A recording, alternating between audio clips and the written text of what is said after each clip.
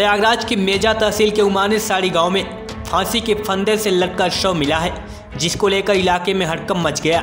जिसके आक्रोश में पीड़ित परिवार ने मेजा रोड के कठौली में चक्का जाम कर दिया। वहीं पीड़ित परिवार का कहना है कि उसकी हत्या की गई है। आपको बता दें कि मेजा के कठौली में शव को सड़क पर रखकर चक्का जाम किया गया। हाँ चले जाइए ना, एक जन का तो साथ में। अब तक लिख के नहीं दिए हो कि मुकदमा लिखा जाए, काहे लिखा जाए? हवा में।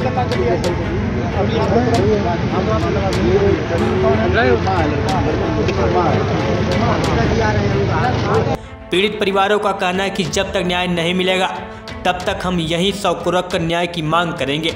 वहीं मौके पर पहुँचे मेजा एस ने रास्ता साफ़ कराया, लेकिन मौत के बाद से परिवार पर गहरा चोट लगा है। प्रयागराज से अवनीश कुमार की रिपोर्ट।